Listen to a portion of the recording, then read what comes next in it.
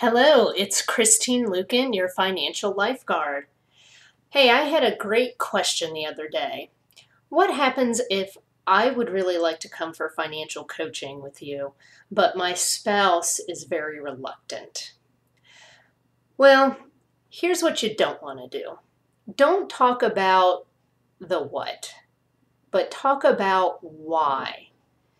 So don't say things like, I want us to live on a budget. I want us to get out of debt. I want us to not spend so much money. But rather talk about what doing those things will accomplish.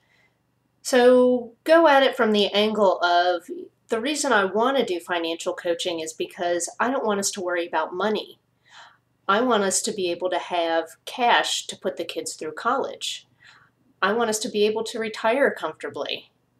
I want you to be able to stay home with the kids and not have to work.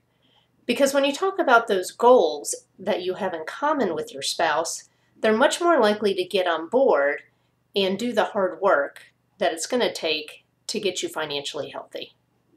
This is Christine Luken, your financial lifeguard. Have a great day.